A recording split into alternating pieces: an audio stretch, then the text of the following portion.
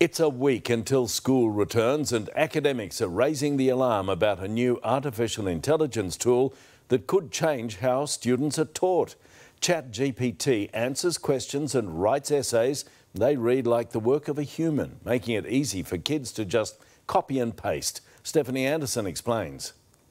As Michael Aristis gets set for a fresh academic year, there's a new tech challenge for teachers to tackle. Like any tool that increases student knowledge, uh, can be used for both good and bad. The VCE teacher is referring to ChatGPT, an artificial intelligence platform that allows users to ask a question, including write me an essay or deliver a review, and then draws on masses of data to produce an original response that's written in a conversational way, making it hard to tell it's not the work of a human. There's a risk there that we might have students simply not learning because all they're doing is asking standard questions and then just pasting it in as their responses. Free for the millions who've already signed up to an account, the AI bot was only launched last November, but Melbourne tech company Cadmus says it's developed a program that detects its use. It would show that, hey, you did this in one session and it doesn't look like it's been created